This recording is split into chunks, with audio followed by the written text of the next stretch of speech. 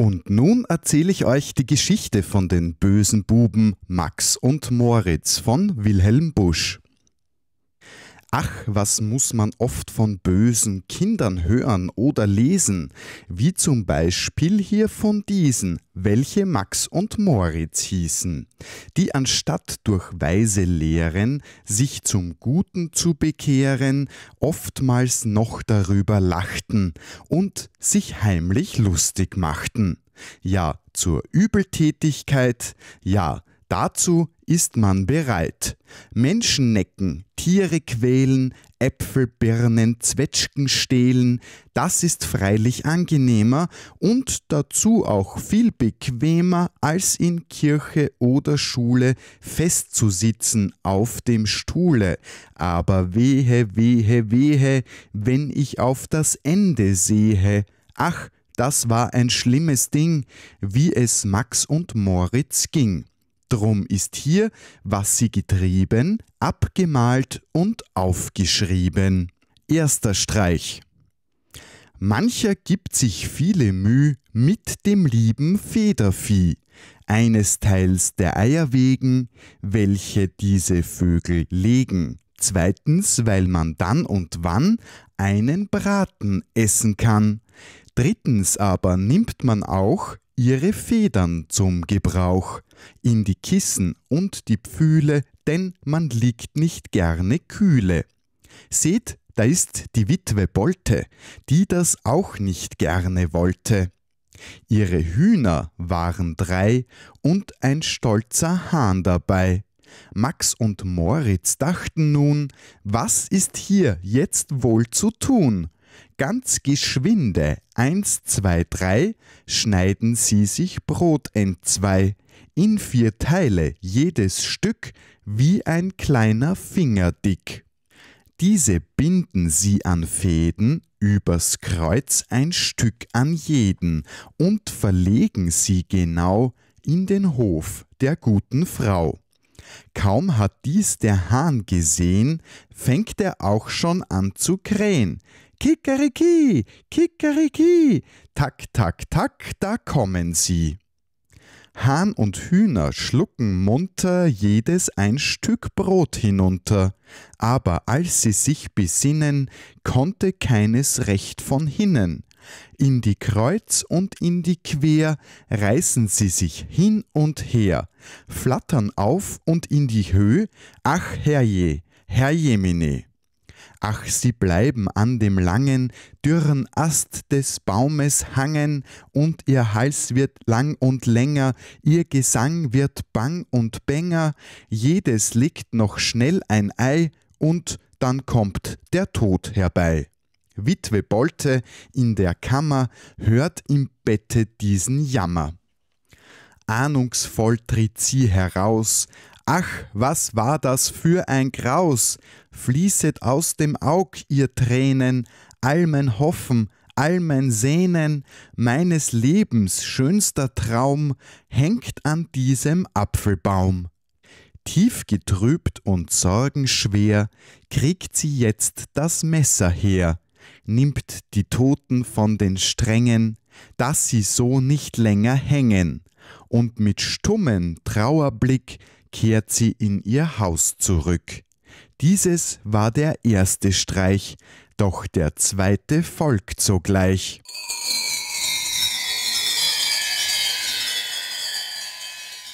Als die gute Witwe Bolte sich von ihrem Schmerz erholte, dachte sie so hin und her, dass es wohl das Beste wär, die Verstorbenen, die hienieden, schon zu frühe abgeschieden, ganz im Stillen und in Ehren gut gebraten zu verzehren.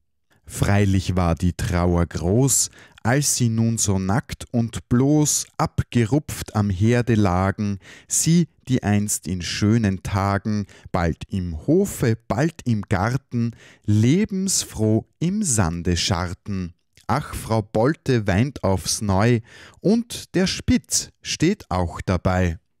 Max und Moritz rochen dieses, schnell aufs Dach gekrochen hieß es, durch den Schornstein mit Vergnügen sehen sie die Hühner liegen.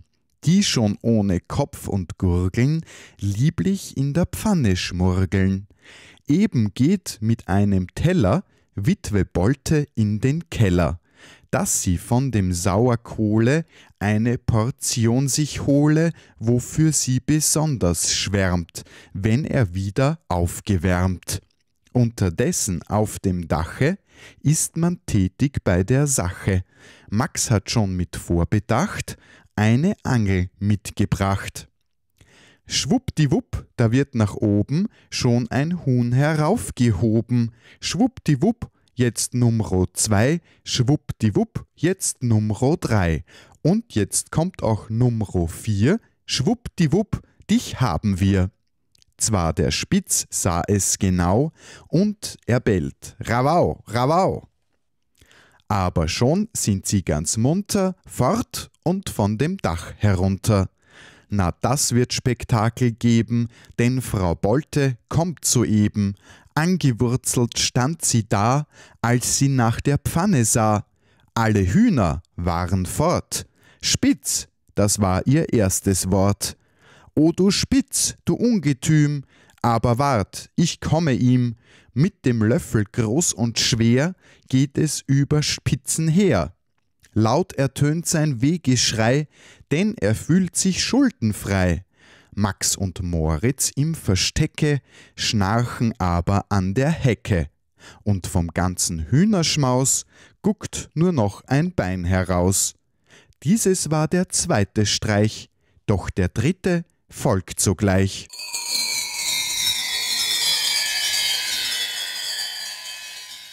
Jeder Mann im Dorfe kannte einen, der sich Böck benannte.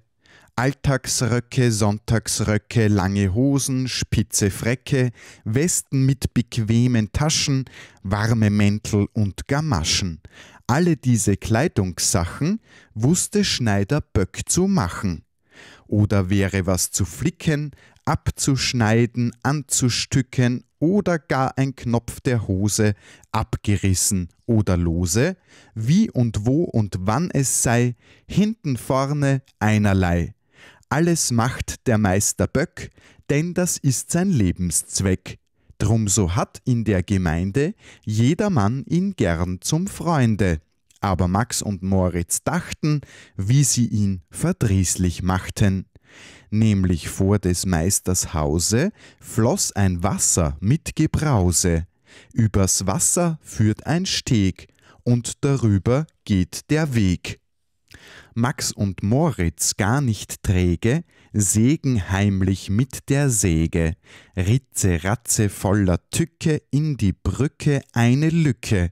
Als nun diese Tat vorbei, hört man plötzlich ein Geschrei. He, heraus, du Ziegenböck, Schneider, Schneider, Meck, Meck, Meck. Alles konnte Böck ertragen, ohne nur ein Wort zu sagen, aber wenn er dies erfuhr, ging's ihm wieder die Natur.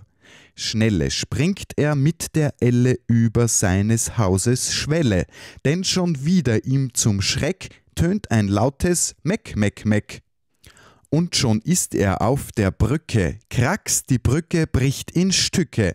Wieder tönt es, Meck, Meck, Meck, plumps, da ist der Schneider weg. Grad als dieses vorgekommen, kommt ein Gänsepaar geschwommen, welches Böck in Todeshast krampfhaft bei den Beinen fasst. Beide Gänse in der Hand flattert er auf trocknes Land.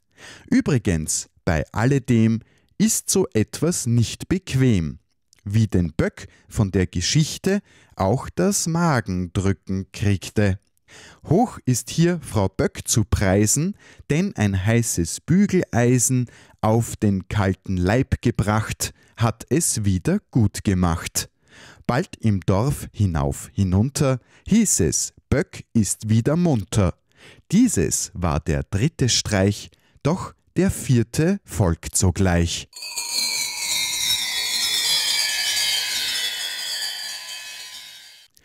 Also lautet ein Beschluss, dass der Mensch was lernen muss. Nicht allein das ABC bringt den Menschen in die Höhe. Nicht allein im Schreiben lesen übt sich ein vernünftig Wesen. Nicht allein in Rechnungssachen soll der Mensch sich Mühe machen, sondern auch der Weisheit lehren, muss man mit Vergnügen hören. Dass dies mit Verstand geschah, war Herr Lehrer Lempel da. Max und Moritz, diese beiden, mochten ihn darum nicht leiden, denn wer böse Streiche macht, gibt nicht auf den Lehrer acht. Nun war dieser brave Lehrer von dem Tobak ein Verehrer, was man ohne alle Frage nach des Tages Müh und Plage einem guten alten Mann auch von Herzen gönnen kann. Max und Moritz unverdrossen sinnen aber schon auf Possen, ob vermittelst seiner Pfeifen dieser Mann nicht anzugreifen.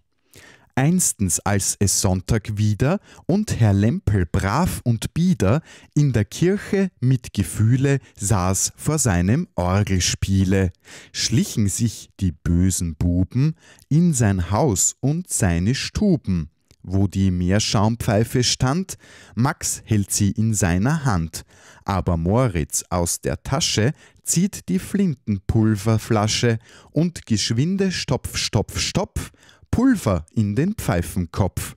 Jetzt nur still und schnell nach Haus, denn schon ist die Kirche aus. Eben schließt in sanfter Ruh Lempel seine Kirche zu und mit Buch und Notenheften nach besorgten Amtsgeschäften lenkt er freudig seine Schritte zu der heimatlichen Hütte. Und voll Dankbarkeit sodann zündet er sein Pfeifchen an. Ach, spricht er, die größte Freud ist doch die Zufriedenheit. Rums, da geht die Pfeife los, mit Getöse, schrecklich groß, Kaffeetopf und Wasserglas, Tobakdose, Tintenfass, Ofen, Tisch und Sorgensitz, alles fliegt im Pulverblitz.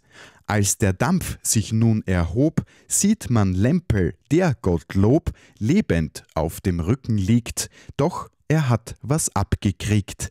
Nase, Hand, Gesicht und Ohren sind so schwarz als wie die Mohren, und des Haares letzter Schopf ist verbrannt bis auf den Kopf. Wer soll nun die Kinder lehren und die Wissenschaft vermehren? Wer soll nun für Lempel leiten seine Amtestätigkeiten? Woraus soll der Lehrer rauchen, wenn die Pfeife nicht zu brauchen? Mit der Zeit wird alles heil, nur die Pfeife hat ihr Teil. Dieses war der vierte Streich, doch der fünfte folgt sogleich.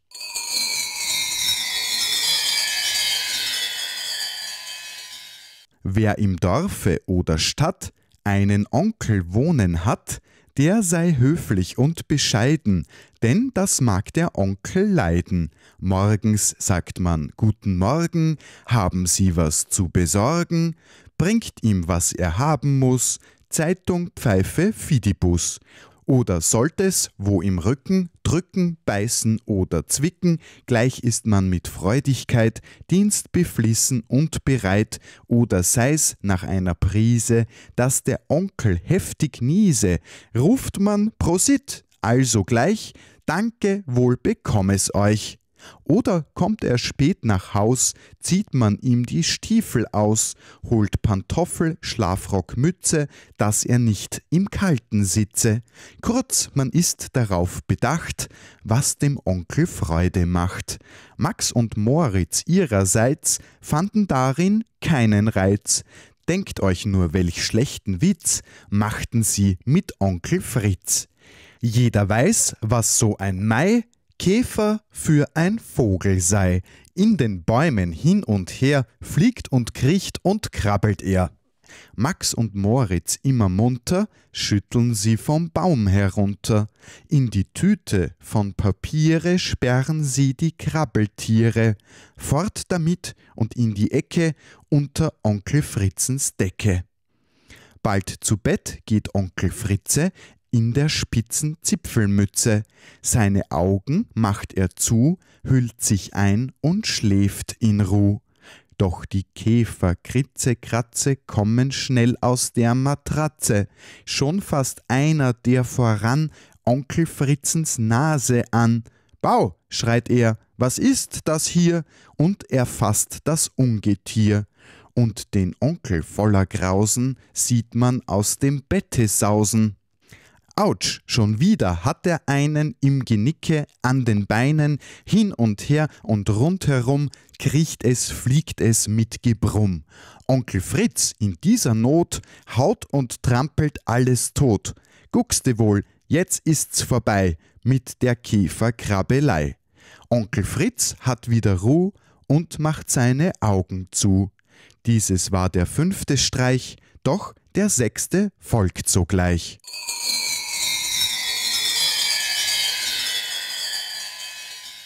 In der schönen Osterzeit, wenn die frommen Bäckersleut viele süße Zuckersachen backen und zurechte machen, wünschten Max und Moritz auch sich so etwas zum Gebrauch.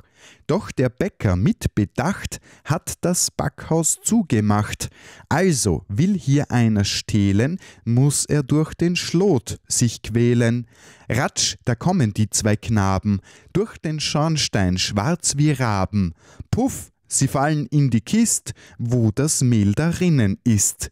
Da, nun sind sie alle beide rundherum so weiß wie Kreide aber schon mit viel Vergnügen sehen sie die Brezeln liegen. Knacks, da bricht der Stuhl entzwei, schwapp, da liegen sie im Brei. Ganz von Kuchenteig umhüllt stehen sie da als Jammerbild. Gleich erscheint der Meister Bäcker und bemerkt die Zuckerlecker. Eins, zwei, drei, eh man's gedacht, sind zwei Brote draus gemacht. In dem Ofen glüht es noch, ruff, damit ins Ofenloch. Ruff, man zieht sie aus der Glut, denn nun sind sie braun und gut. Jeder denkt, die sind perdü, aber nein, noch leben sie. Knusper, knasper wie zwei Mäuse fressen sie durch das Gehäuse, und der Meister Bäcker schrie, Ach, herrje, da laufen sie!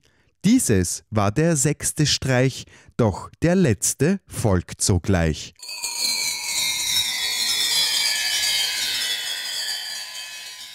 Max und Moritz, wehe euch, jetzt kommt euer letzter Streich. Wozu müssen auch die beiden Löcher in die Säcke schneiden? Seht, da trägt der Bauer Mecke einen seiner Maltersäcke, aber kaum, dass er von hinnen, fängt das Korn schon an zu rinnen. Und verwundert steht und spricht er, Zapperment, dat Ding werd lichter. Hei, da sieht er voller Freude Max und Moritz im Getreide. Raps in seinen großen Sack schaufelt er das Lumpenpack. Max und Moritz wird es schwüle, denn nun geht es nach der Mühle. Meister Müller, he, heran, mal er das so schnell er kann. Her damit und in den Trichter schüttelt er die Bösewichter. Ricke, racke, ricke, racke geht die Mühle mit Geknacke. Hier kann man sie noch erblicken, fein geschroten und in Stücken. Doch sogleich verzehret sie Meister Müllers Federvieh. Als man dies im Dorf erfuhr, war von Trauer keine Spur. Witwe Bolte, mild und weich, sprach, sieh da, ich dacht es gleich. Ja, ja, ja, rief Meister Böck, Bosheit ist kein Lebenszweck. Drauf, so sprach Herr Lehrer Lempel, dies ist wieder ein Exempel. Freilich, meint der Zuckerbäcker, warum ist der Mensch so lecker? Selbst der gute Onkel Fritze sprach, das kommt von dumme Witze. Doch der brave Bauersmann dachte, wat geit meck dat an? Kurz im ganzen Ort herum ging ein freudiges Gebrumm. Gott sei Dank, nun ist's vorbei mit der Übeltäterei.